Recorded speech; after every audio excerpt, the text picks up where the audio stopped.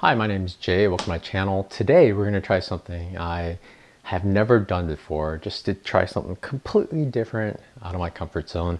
But we are going to bake a Santiago cake.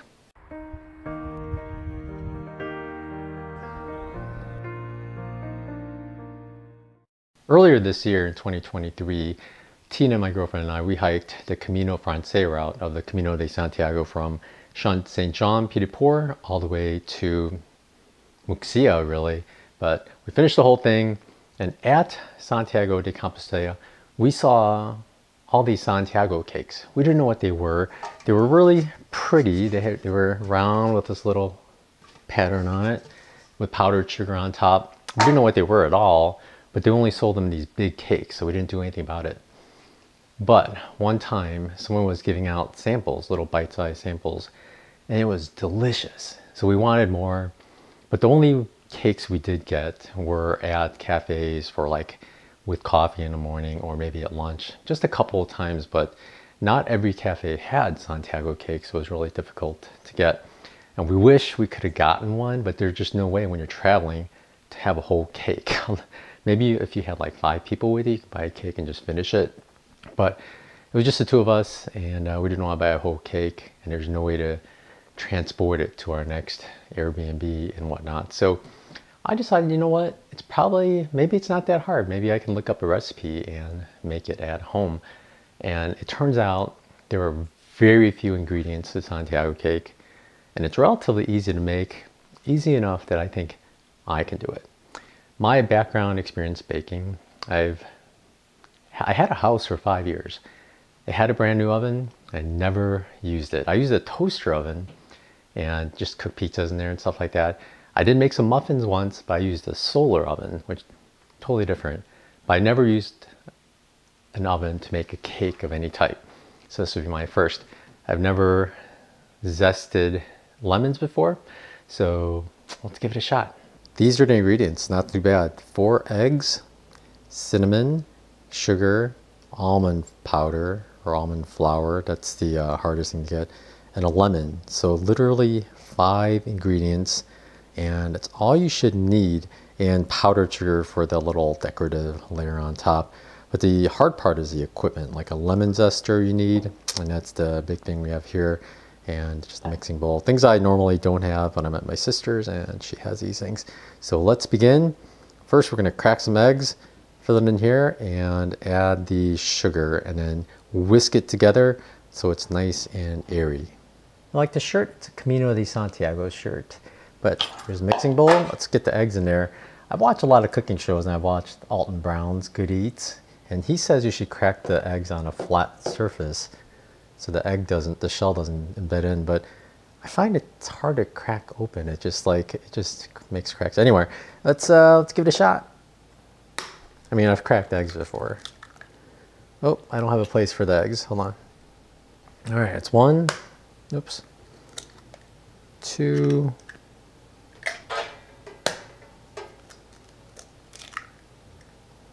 three, oh, I hit that a little too hard. Okay, that's a, that's a no-go. Let's get another egg here. Let's, uh, let's try it again. That didn't work out as planned there. All right. Let's get another egg out of the fridge. I've never had that happen to me. Of course, when I try to make a cooking video, it's real life. Got a new egg? Let's try it again. All right. Four eggs. Now we're ready to go.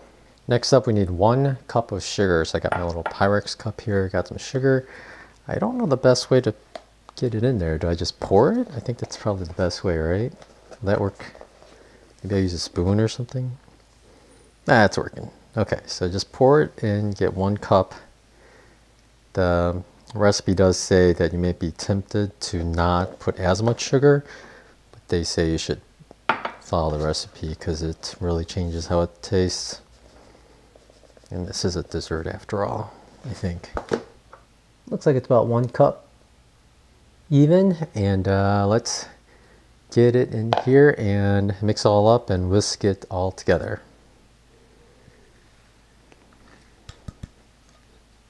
Before we whisk up the eggs and the sugar together, we're going to use this lemon zester and we're going to zest this entire lemon. I've never zested lemons before. I think you just go deep enough until the white parts show. Maybe just get the outside. I'm not quite sure. I've seen my sister and my niece do it before. I think you just, uh, I think I need something to scrape it or something because it gets kind of clogged up. We'll see how it goes. I'm sure many of you used lemon zesters before and you're going to tell me all kinds of things I'm doing wrong. Uh, wish I could have had you tell me before I start this here, but here we go. So, it's full lemon. Guess, do I go this way? Oh, what's, what's tighter than I thought? Oh man, do I go this way? No. That's, oh, oh no, I'm making a mess already.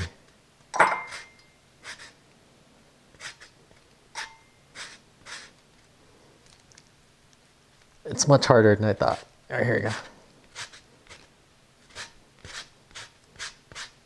Before I continue, I think I'm gonna get the gloves, like the cut-proof gloves out because I feel like I'm gonna slip and grate my thumb and I'm gonna get blood in there and this whole thing's gonna be garbage. So let's be safe. Get my gloves on. I think I bought these for my niece, so they're a little small, a little tight, but all right. So I don't know if it's the best way is to hold it on the bowl. Maybe I should use a bigger bowl. Or do I just think I think I'll just go for it. I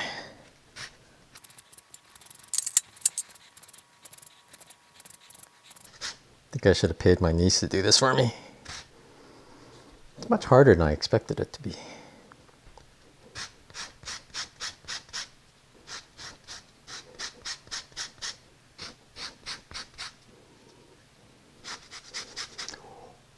hit my thumb. Good thing I'm wearing the gloves.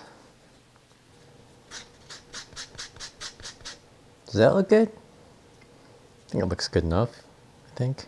All right, let's call it. Oh my gosh, there's a whole bunch in there. I gotta get that out. I think this might be the best way to do it.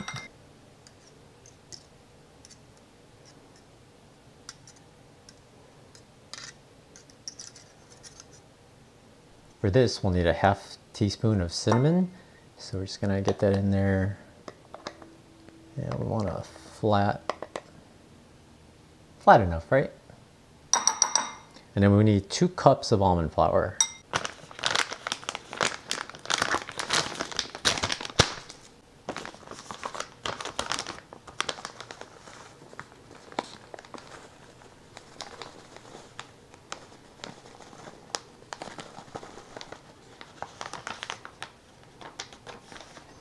Much chunkier than I expected.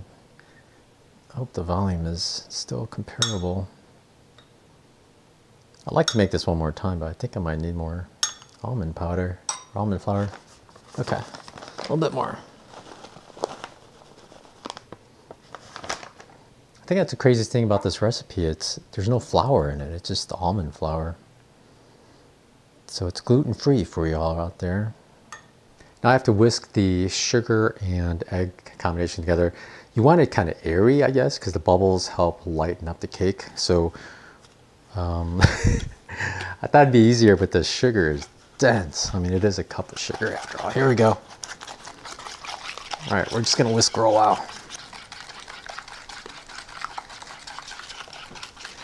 So what have I been up to uh, since the finish of the Camino?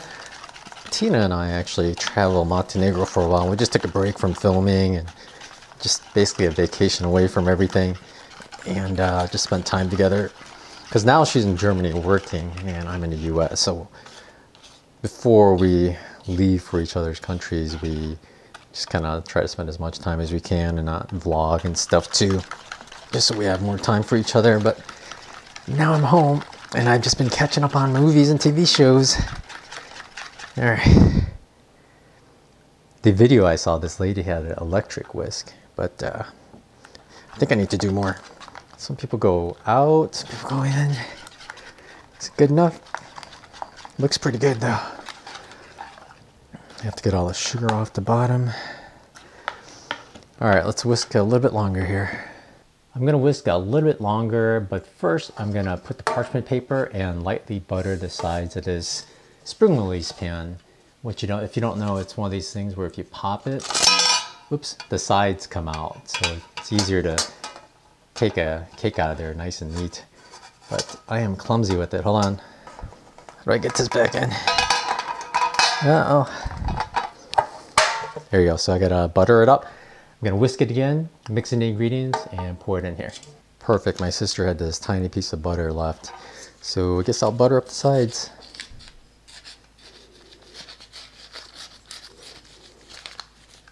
I guess if you put too much butter, it seeps out the bottom of the springform pan. Put too little though, and the cake will stick. Pan sides are nice and buttered, and this pan I bought specifically for this cake, and it came with 8-inch sheets of parchment paper, so I don't have to cut it out myself. Perfect. Now let's mix everything up and pour it in here, and I guess I should preheat the oven first. I'm getting things way out of order. Ooh, look at the eggs, nice and bubbly. Let's fluff it up some more. Instruction says it should have a nice gloss to it. I don't know what that means. Looks like as I let it sit, the white's kind of separated. All right, let's add in the dried ingredients. First off, we'll add the lemon zest and cinnamon.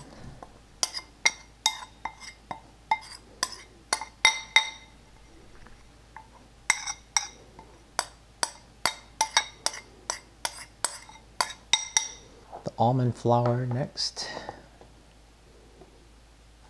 Oh, that just kind of dumped in. All right. And now we mix enough so it's all mixed together, but you don't want to mix all the bubbles out because then you, I guess it won't be as light. So it's taking a while here. It's all right. The video I saw made it look a lot easier. I guess the one thing I should have done is broken up all the um, almond flour chunks. They weren't hard chunks, but now in this mixture, they're starting to cause little dry balls, chunks. I said chunks a bunch, okay. Looks like I'm getting most of it. I'm just gonna keep mixing until it's a smoother mixture and try to break up some of the remaining smaller chunks because you want any dry spots. I'm not gonna be able to get all the chunks of almonds, but I'm hoping that when it bakes, it kind of just kind of soaks through. Does it happen? I don't know. The oven is currently at 230 degrees, so we gotta get to 350, so I'm gonna mix up some of these bubbles a little bit longer. All right, let's get in the tin. So I guess I just pour it in. Hopefully the tin sealed up okay. Let's do it. I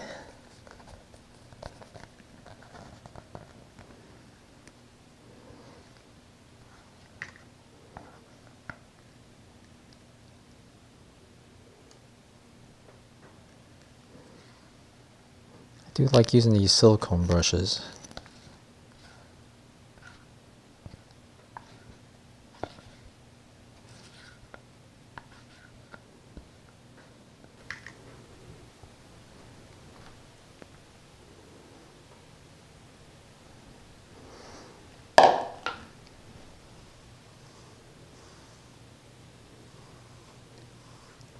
Looks good actually, except I got some stuff up there, so I'm gonna try to try to wipe some of this off.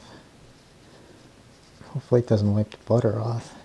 Oven's almost at 350 and looks like I'm ready. Just gonna shake it up to get it even.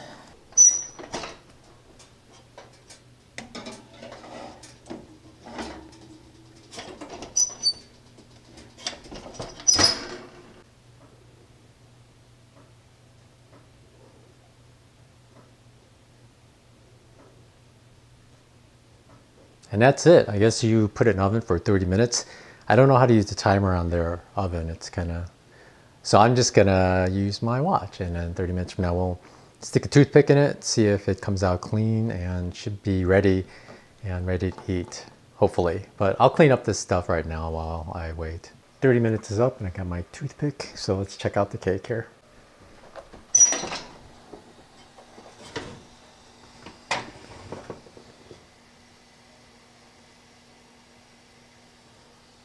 Comes out clean.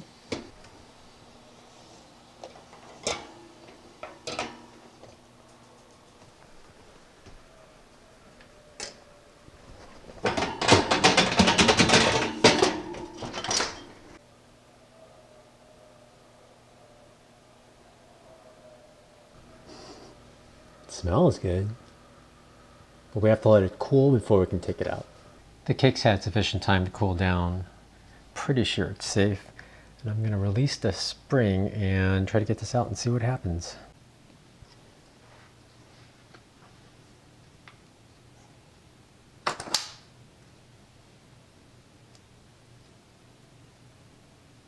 Holy cow. Well, that came off quicker and easier than I thought it would. And the cake looks good. I want it to be nice and shallow. There was a nicer pan that was nine inches, um, nicer springform tray, but the eight inches was perfect. Nine would have been too thin, I think, but looks beautiful.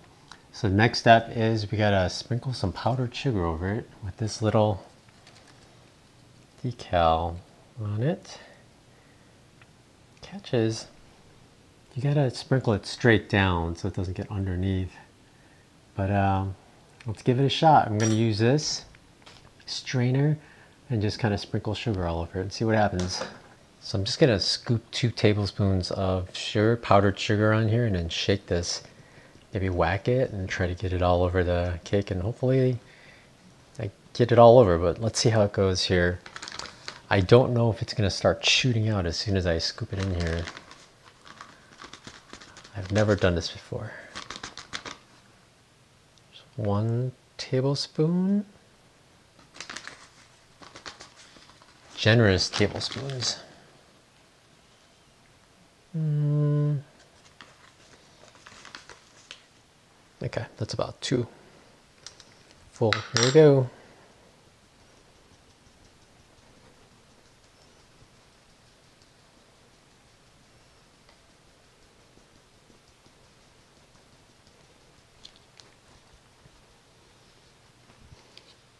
How's it look? It's a pretty thick layer.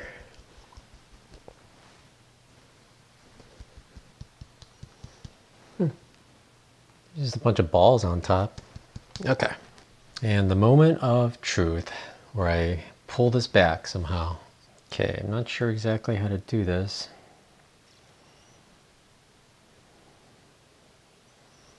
Without ruining the shape.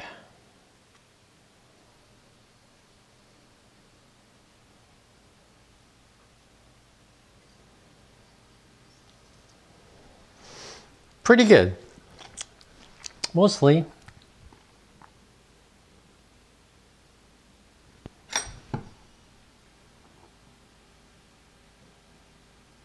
There you go.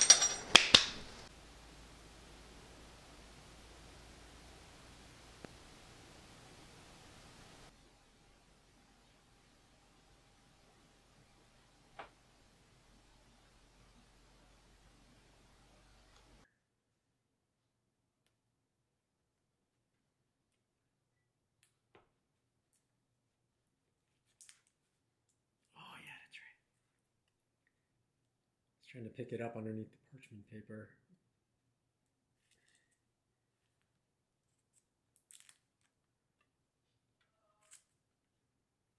Here it goes.